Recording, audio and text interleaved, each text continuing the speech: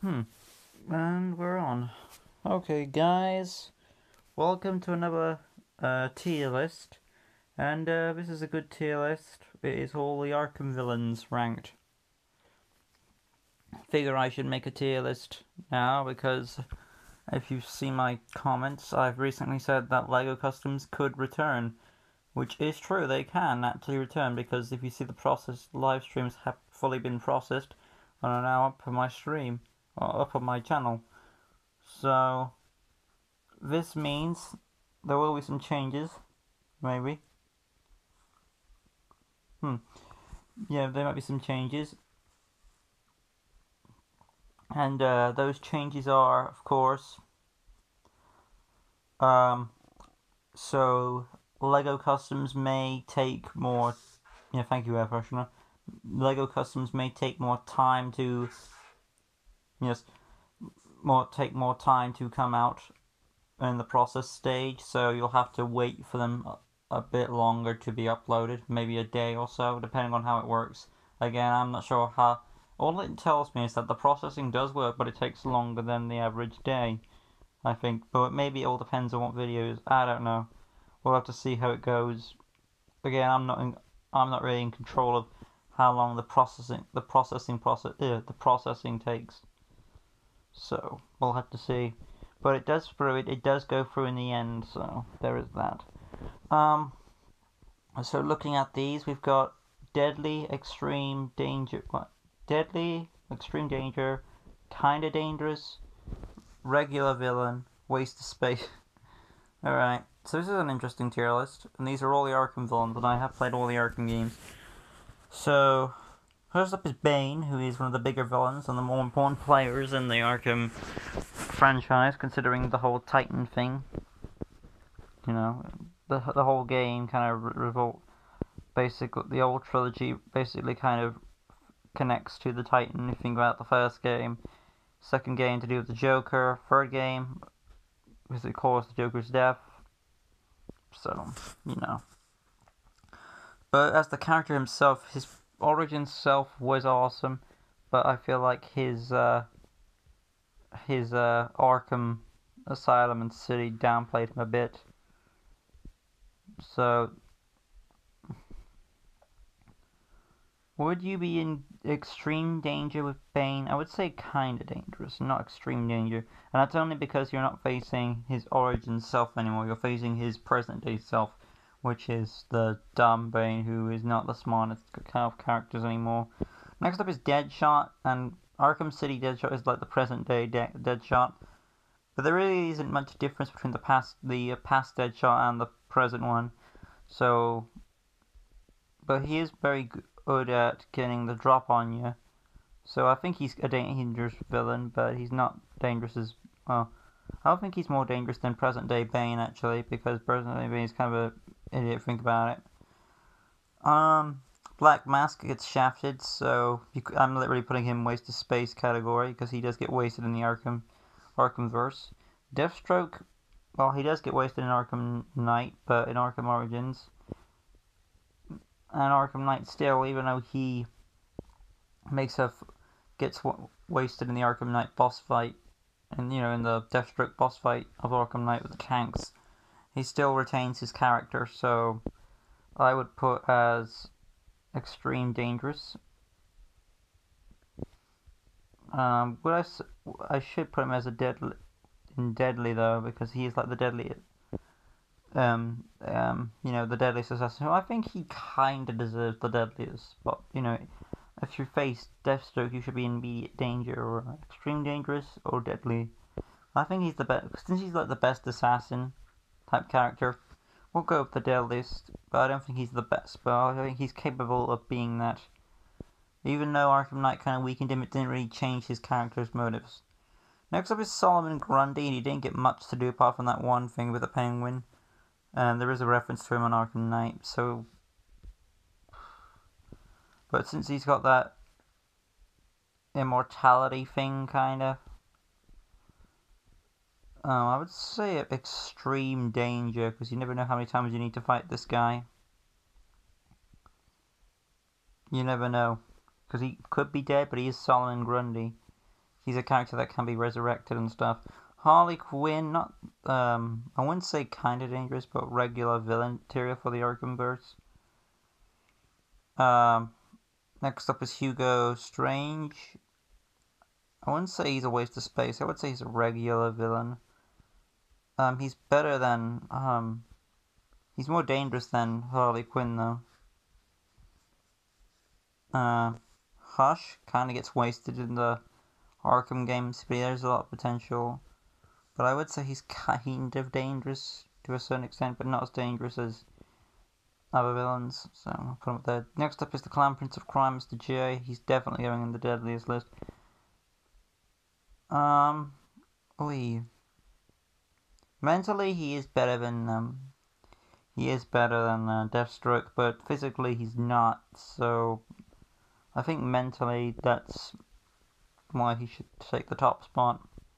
Next up is Killer Croc. Uh, Arkham Asylum did make him very kind of in the more dangerous villain, so I'm putting him as a kind of dangerous villain. Um, oh good. He's more effective than Hush is. Um, more effective than Bane.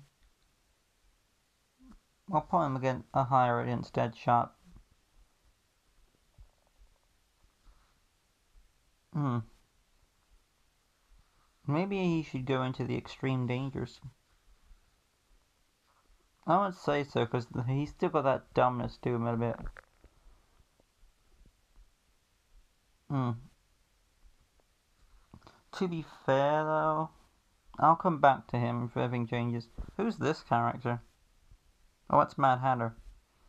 Uh, there is a kind of danger to him. Not as much as Hush, though.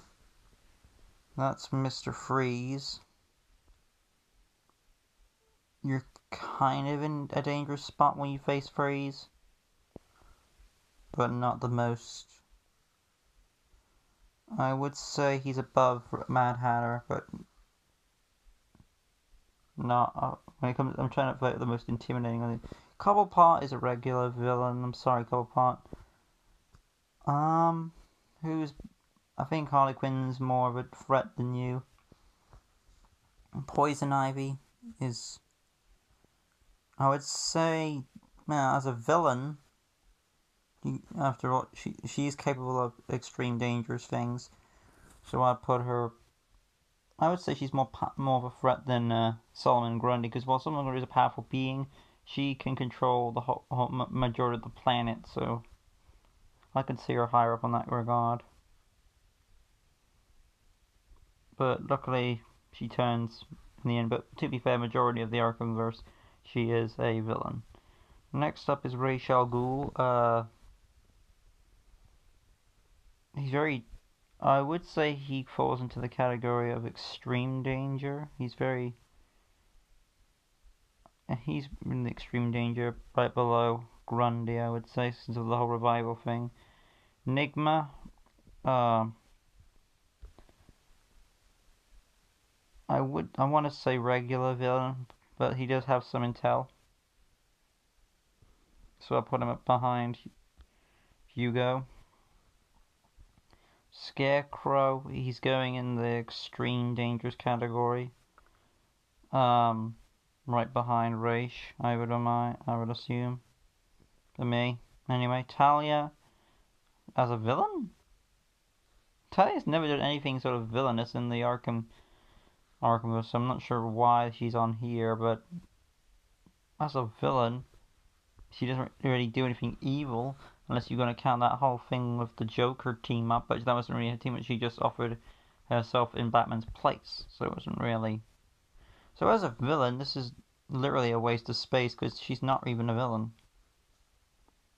So I'm not dissing her as a character, I'm just saying as a villain, because this tier list is about villains ranked, and she's not really a villain, so I'm putting her at the bottom because she's not a villain, which is a waste of space.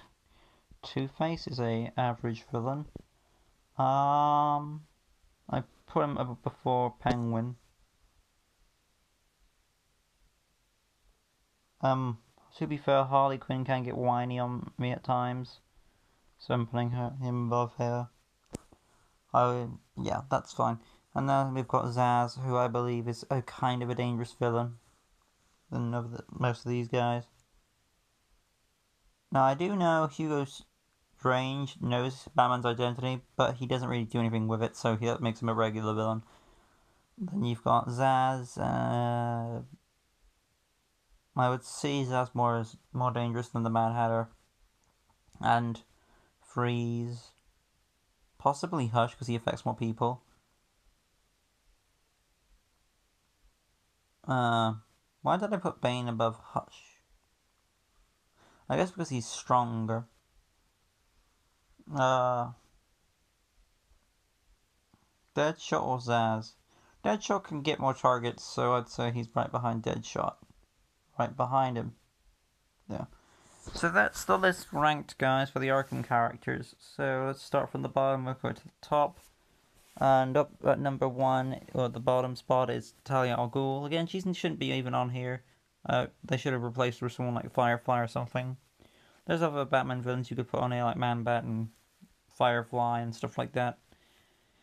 Heck, Azrael could have been a villain on here because he does have that multiple choice option. So you could have put other characters on here that would have fit in a bit better. But yeah, she is not really a villain, so she shouldn't be on here. Moving on to Black Mask, waste of space in the Arkhamverse. He gets butchered by the Joker, steals the spotlight away, and then he gets killed by Jason Todd, so he doesn't get much to do at all. Cobblepot, he's a no right villain. Um, he's not the best thing in the world, but he then becomes a stereotype throughout the series. Um, so he's fine where it is. Um, Harley Quinn is more awesome than him, though. Maybe that's easy peasy with Harley Quinn, though. Um, However, with the voice change, she does get a great grading at times, and that lowers her spot. Two Face has potential, but he gets wasted.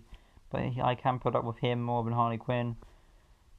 Um, you know, he's he's close enough to the Dark Knight version of Two Face, but not much to make him better than the Dark Knight version. Next up is the Riddler. While he is annoying with his constant talking, his intelligence and smart smarminess never gets old for me. Hugo Strange is above him. While I do, I enjoy his voice and his uh, way of thinking out, uh, intimidating the Batman, despite the fact that he's just an average man with a bunch of goons.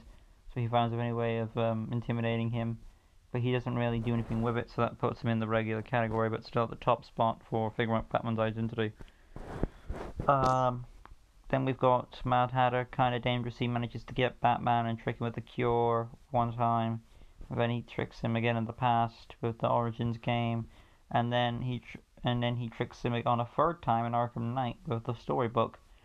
So he's very you're in for a, you you will go down a he's basically Batman walks into a trap by the Hatter every time. Mr. Freeze, well he's he's more of a sympathetic character than he's a villain. But if you got in his way, he would do whatever it takes for his wife.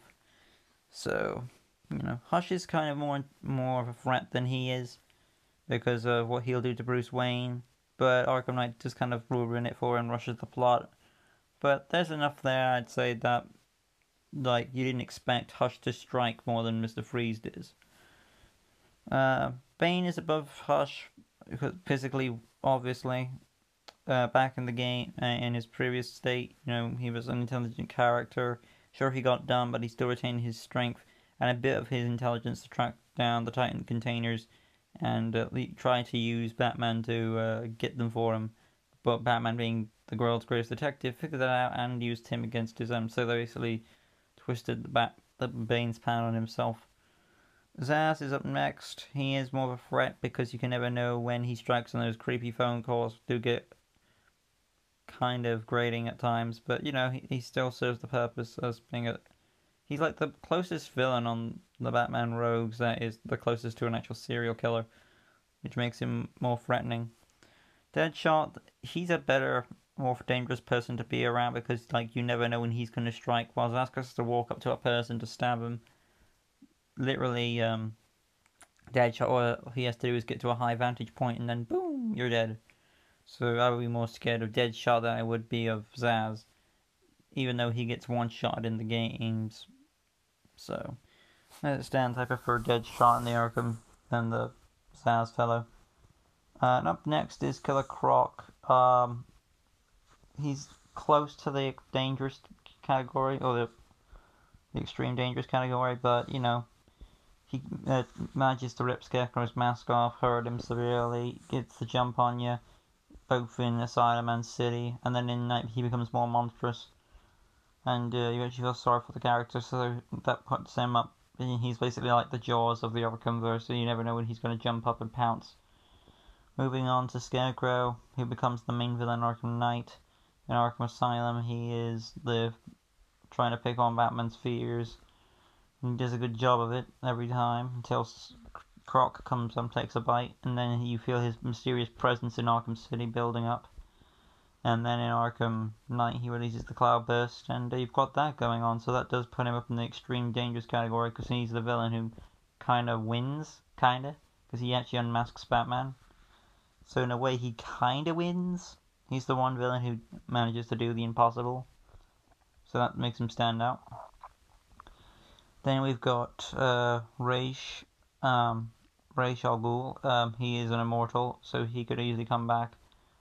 Um, but to be fair, this character wants to die, but as a villain, how dangerous he is, um, he is more dangerous than the other ones because like he is a villain who could come back in some way of shape or form. So that's why I put him high on this list. The other villain that should be on this list is Clayface. He would have gone in extreme dangerous. Next up is Solomon Grundy, another like immortal being who cannot die.